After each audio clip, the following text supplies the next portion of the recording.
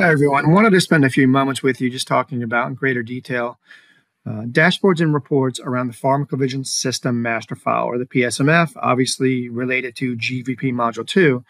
Uh, but this is a follow up to those that might uh, be looking for metrics, KPIs, and oversight, management, and control over all that PSMF related documents. Being able to say, show me what's at risk or overdue or late.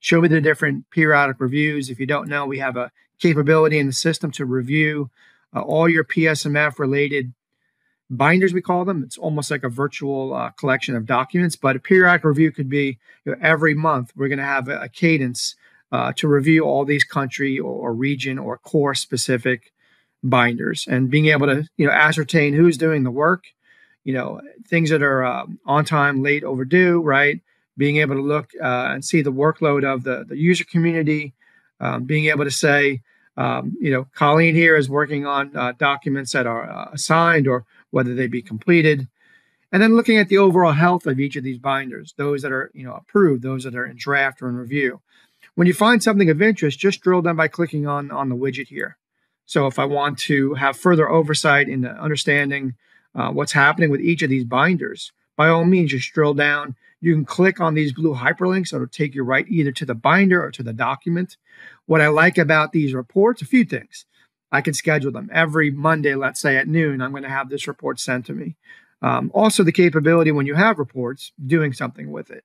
You know, being able to email them, being able to you know upload them into the system or send them out via PDF, Excel, et cetera, et cetera.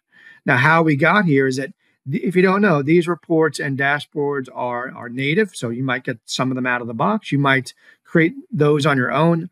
What you're seeing today, we've created on our own. Um, but being able to say, yeah, I've got a, a, series of criteria. So you could add new criteria in, look at certain field attributes, you know, that are specific to the PSMF, use Boolean quantifiers, use a list of values to make sure you're getting at the right information.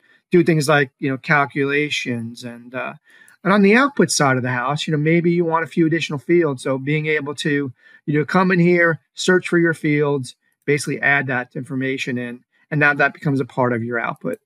So relatively easy to go ahead and create a, a new report and then convert this report into the dashboards that we saw earlier.